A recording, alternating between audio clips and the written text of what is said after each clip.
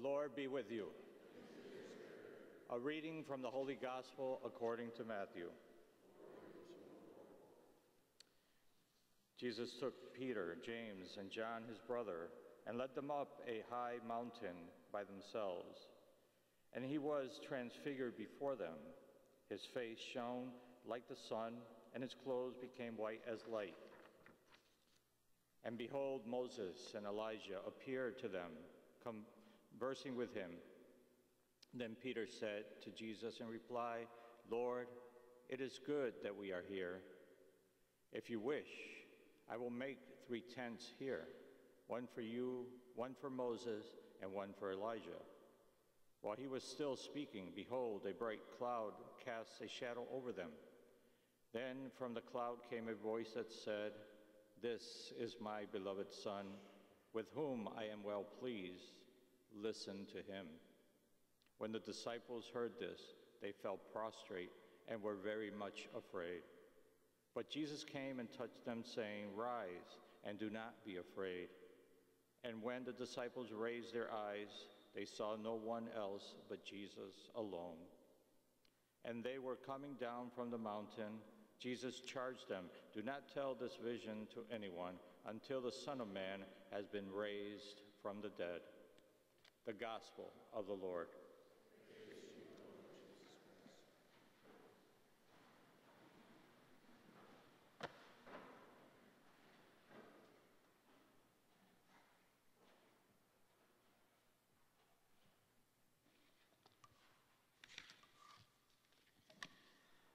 In the main chapel of the lower church of the Basilica of St. Francis of Assisi, there's a crucifixion scene with an interesting addition to it. There's a man standing there, and this man has two faces one that's looking right and one that's looking left. And it might seem confusing at first if you don't know what you're looking at. You know, perhaps the artist started, messed up, and tried to fix the person halfway through. Maybe the artist had trouble deciding which way to make the man look, so why not have him look both ways?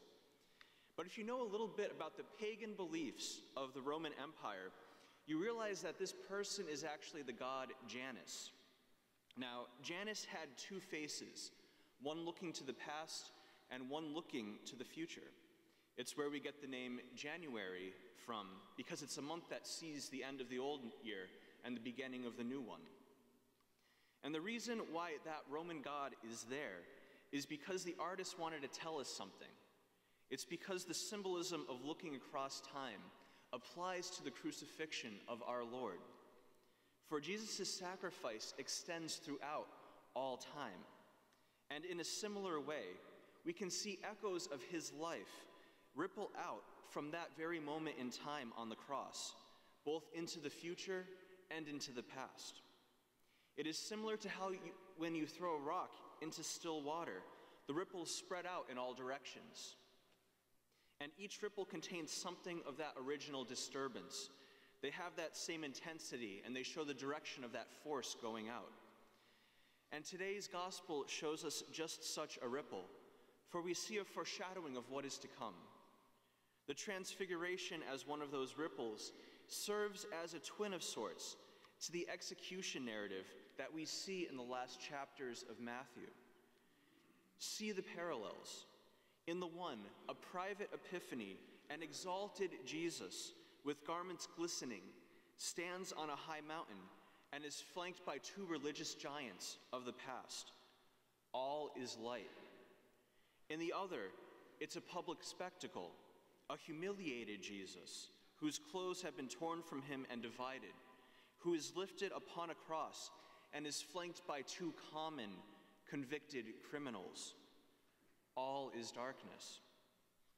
It is like we are looking at a diptych or a picture with two plates, in which those two plates have similar lines, but they have different colors in them.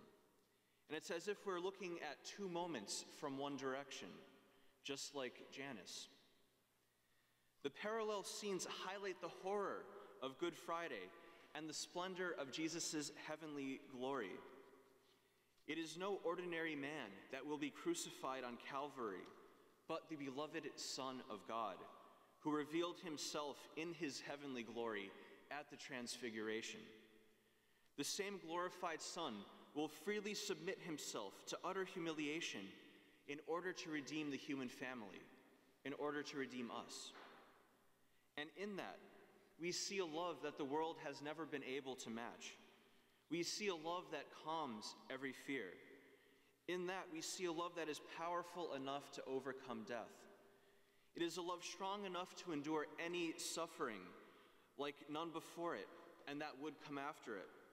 It is a love that knows the depth of pain, yet still chooses to suffer because it wants to see humanity reconciled with God. But wants is not a strong enough word. The love of God longs for humanity to return to Him. Christ's love is so powerful that it pervades all time and it will be offered to all. We cannot be separated from that love unless we turn our backs on it, for love is always a free choice. We are not forced to love God, it always remains an invitation to us. And it is a free invitation from the Almighty. We have done nothing to deserve it. Quite the opposite, really. And now we come to the practical purpose of the Transfiguration. Christ's Transfiguration was meant to strengthen the apostles for when their faith in him would be tested. In that parallel between the Transfiguration and the crucifixion, God is showing us the unity of God's glory with his suffering of love that he experienced to redeem us.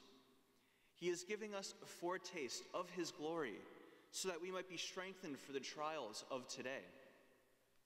It came at a time when the noose seemed to be closing around Jesus' neck, where his enemies in Jerusalem were gathering followers and they were gaining momentum to their cause to put him to death. And his apostles might have been tempted in this time to start doubting that Jesus was who he was saying he was. But today, as Jesus strengthened the apostles' faith, he wishes to strengthen your faith with his glory.